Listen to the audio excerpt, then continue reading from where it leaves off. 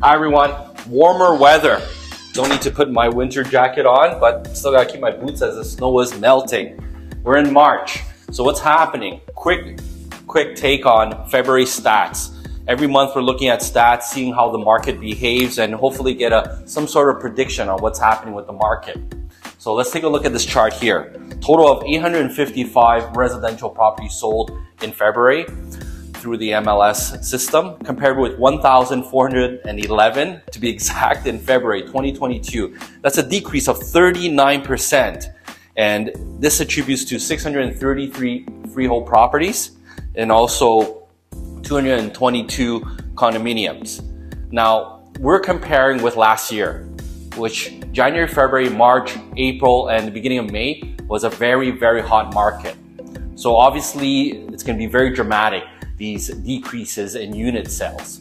Now let's take a look at this chart coming up that we're going to post for you to see. If you take a look at it, you're going to see the average sale price is down 15%. 709,000 is the average price now. The average days on market is 62 days, up 17 days from last year. And unit sales, as we mentioned earlier, is almost down 42%. For condos, Average price, 411,000, down 12%. Average days on market, 63 days, up 25 days from last year. And unit sales are down 31%. So compared with a year ago, obviously the stats, as I mentioned, they're, uh, they're very impactful. But the telltale sign will be, as mentioned in the last video, approaching to our next video, which is why we're going to make this video short, is April. April, May, Right now, March, a lot of people are going to go on vacation. They're also going to see uh, how the interest rates are coming, if they're going to eventually stabilize, because we had increased six, seven times in the last 12 months.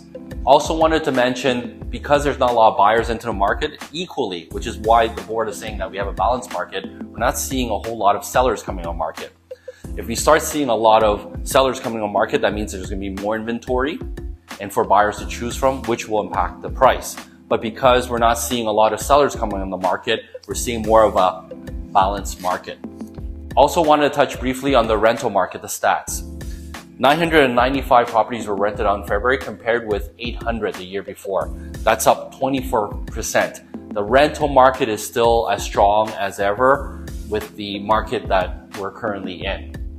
Stay tuned for the next video where we will definitely have a better, much better forecast of what's coming up uh, down the down for the rest of the year.